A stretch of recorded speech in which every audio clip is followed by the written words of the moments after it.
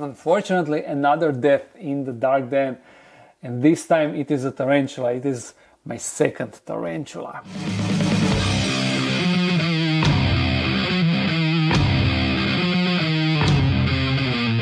So the original viewers of the Dark Den will remember this tarantula really well because uh, at that time I didn't really had a lot of tarantulas. So she was featured in basically every feeding video at start of this channel and also I rehoused her two times in relatively short amount of time and she was the tarantula that, that showed me how tarantulas can climb easily slick surfaces like uh, bathroom tiles and bathroom tubs. Before that I didn't really, I wasn't aware of that fact and she kinda exploited that situation. And she was my very first female tarantula. I bought her she was like this big maybe so around 8 centimeters in leg span.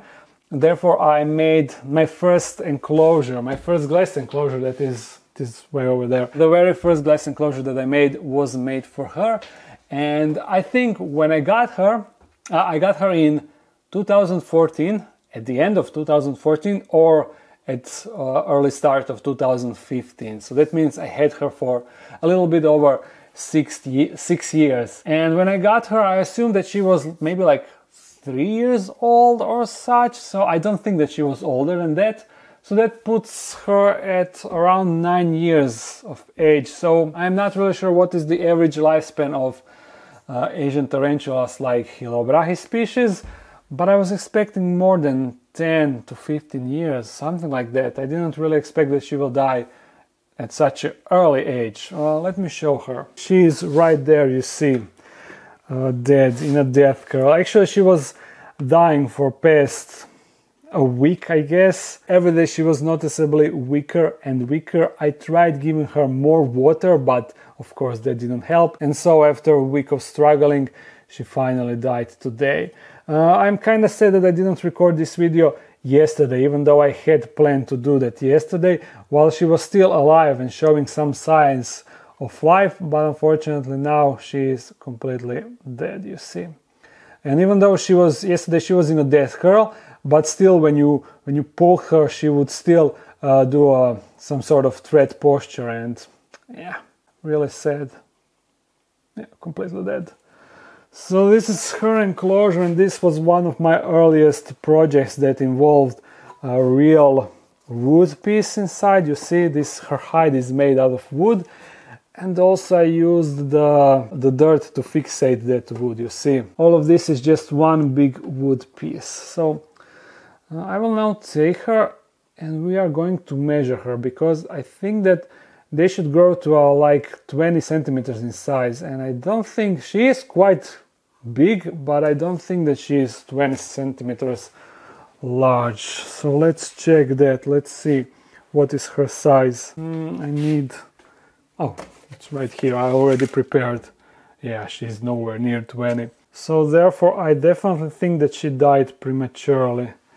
But why exactly I have no idea. Let's see Oh, she's actually 18 centimeters, 7 inches. And if I would like spread her legs entirely, 19, almost 20. Oh, interesting. I didn't really thought that she was that big. Hmm, but it still seems a little bit too early. Look how big this part is. So big. And she's so... Carapace is so strong.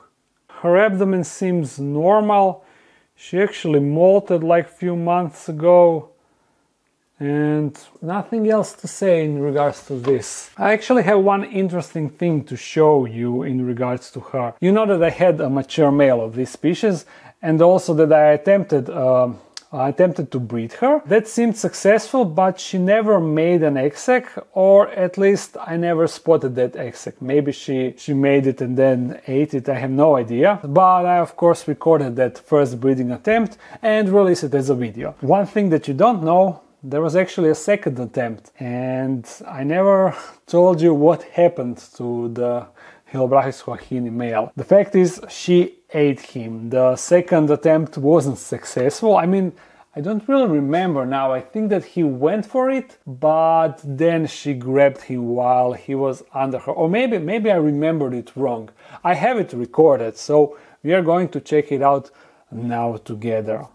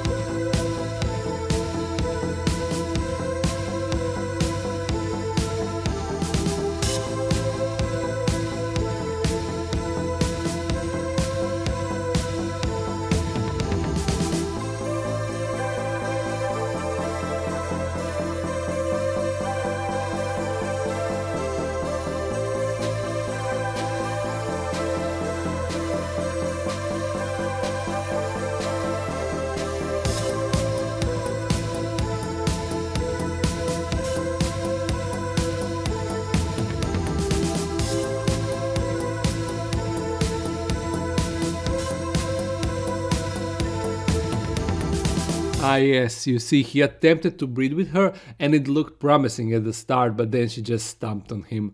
Uh, now looking at it, if I wasn't holding a camera, maybe I could separate them on time because he was resisting her squeeze for a while, but it is hard to know that now for sure. And he was also an old male that didn't had uh, much life in him anyway. Also, one thing I noticed, you see that patch on the female's abdomen? Could that be the sign that the female made an egg sac? I think I read that, but I could be wrong easily. Anyway, back to the regular video. Now looking at her like this on the table, she actually looks, she still looks alive to be honest. And just compare her to my hand. I have relatively big hands. My fingers are relatively long, so it is not some sort of comparison, but yeah, it is so freaky how she looks alive. When I go to touch her, I still have a feeling like she will just bolt or try, or try to bite me or something uh, but that unfortunately won't happen. Her coloration is kind of dull and boring. I mean, it's just a brown tarantula, but still her posture and everything, it is impressive, right? Yeah, I really loved having this girl. I enjoyed having her and she taught me so much. Thankfully, I never, she never beat me, even though she was the first tarantula that showed me what how thread posture actually looks like. Those were fun times, and I think that I have some old clips of her that I never used in the videos, so I will definitely use them now and show you show you those clips and did I made a spotlight video of her? I think I did. A video that features all the all the feeding clips that I recorded in one, one big compilation. Yes, I actually did a compilation of that. I will link it in the description so you, you, if you want, you can go and check it out after this video. Also here I have another news and this is not a tarantula, this is a molt. This is not another bad news, but this is molt of Tapinauchenius violaceus. And yeah, the female actually molted, so let me poke her so you can see her. Her coloration is mwah. I keep her in this enclosure and she molted a while ago so I think that she won't mind me poking her too much. Mm-hmm. Oh. oh, oh, there she is. Although she seems so dark in the video, I mean on the camera, in real life she is not this dark. Can you go more up on the light? Oh yes. Hmm, on camera she definitely looks different. She looks almost blue on camera. What is this? What is this sorcery? Hmm, and what is this spot on her abdomen, huh? Did you spotted it? You see? Whoa! This is something that she didn't had earlier. It seems like a part of abdomen is missing. Ooh, is this concerning? I hope not.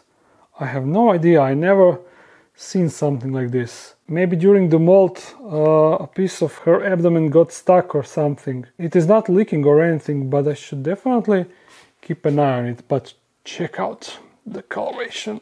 Oh, sweet. She's so shiny and everything. Mm, but this is worrying. Hopefully nothing, nothing serious. mm, oh, look. Poecilotheria rufilata is outside together with Poecilotheria subfusca, one next to each other. Uh, now I need to tear down this enclosure. This enclosure is maybe four years old now. Yeah, I made it all the way back in, in my apartment. So I moved this from my apartment into the first dark den. I mean, first dark den outside of my apartment. Then I moved it again to previous dark den, and now finally I moved it like one last time to this dark den. And oh, it's it's so sweet, all the webbing and everything. But what can you do? What can you do? Nothing. Of course, I'm going to store her in the freezer and then in the future I will make a taxidermy of her and all the other tarantulas that I have preserved.